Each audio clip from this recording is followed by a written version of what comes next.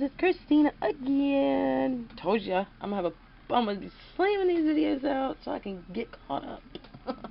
um, I gotta get my website going, my blog site. I get that going. I gotta get. I was gonna go with Etsy, but I'm going with Storenvy instead. So I gotta get all my stuff listed in there. I told you, I'm trying to get caught up. So this is part two of my friend's baby um gifts.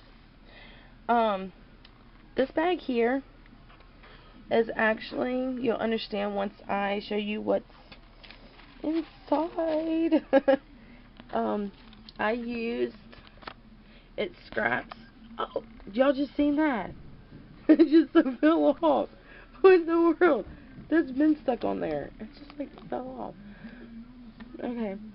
It's on there for now. But I put that back on there. okay, anyhow. These are some little tags that come out of the paper packet that I used. I'll show you guys in a minute. I'll go ahead and show you actually. Because I used it for what's inside. Can you guess? Can anybody guess what I what's inside? Mm hmm it's a secret. But it's yep, Paper Studio. it's the Baby Girl 8x8 collection. And I have nothing left. It's all scraps. I've literally got one, two, three. Okay, I have five sheets left, but it's yellows and greens and yeah. Okay, let me show you what's inside. I got it wrapped up.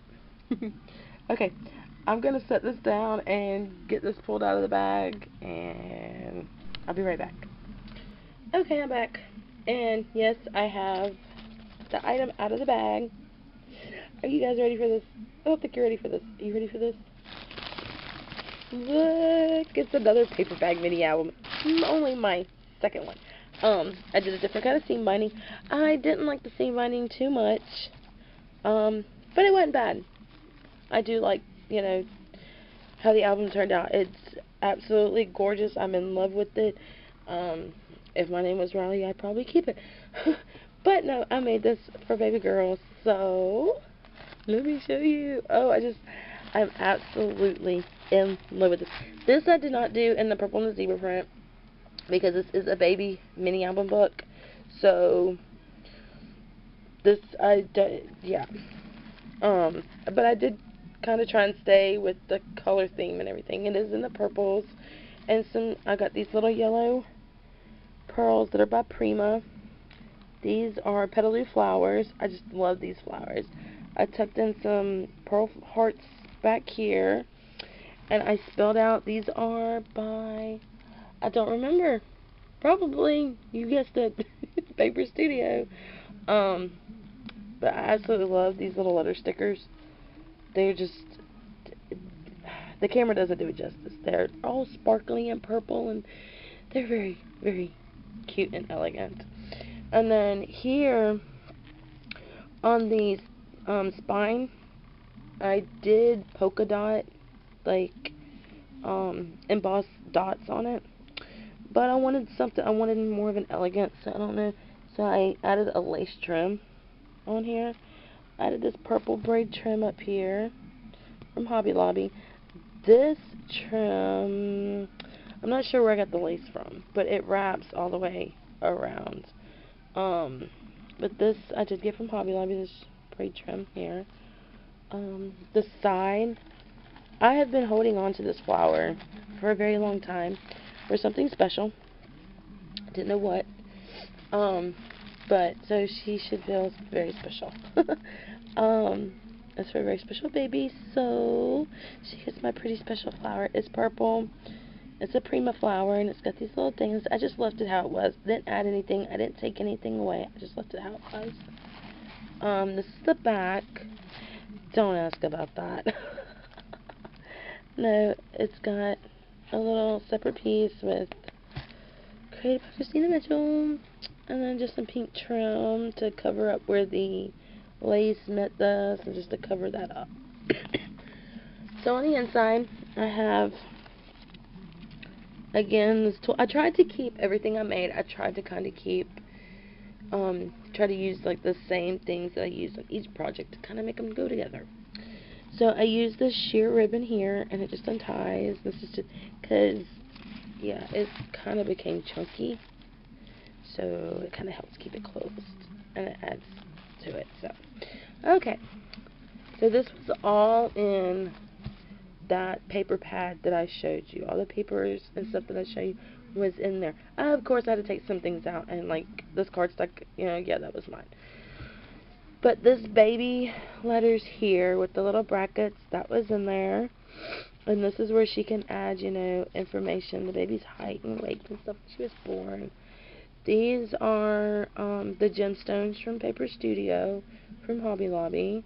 I added those on both sides. And then this is just a photo mat. And all I did is I just glued it down here at the bottom. And you can stick the photo, that way the lace will overlap the photo and the baby's face or whatever can be the main focus. So then I added some more of the little gemstones here that I added on the other page to kind of mimic it. And then this idea I did, I thought was absolutely cool and neat and unique and yeah. So here I made some little pockets, which I'm going to have to find a different way because I don't like the fact that this little gap here and the gap down here, or actually no, you don't lose the gap down here, but the gap here and the gap here you kind of lose. So, yeah. But, anyways, this is some of the paper that was in there. I put some rose trim, rose and pearl trim. see if you can see. And then these the cute letters come in it. It's actually was together, yeah. Um, and then this neat idea, I made tags to come out they're all trying to come out. But they're just little photo mat journaling tags. There's three of them in there. And of course I'll have to put all this back together once I'm done showing you guys. And then here, I used the same paper that I used over here. This unties. And this one folds up. Of course, it's going to be difficult to show you. This one folds up. You can add, you know, the date information. And I put the baby hands over here. And then it opens up like this also. So it folds up and down. And that says joy. You got baby feet over here. And again, I added the green to mimic these cards and the green in here. Thought I just felt something coming up. I was about to cry. I worked so hard on this. but anyways, um, so that's that one. And each one does have a hide a tag. That's what I call them anyways. Because there's no way to pull them out or anything. So I call it a hide a tag. But yeah, some just little cards that I distressed with my inks. Just tuck it.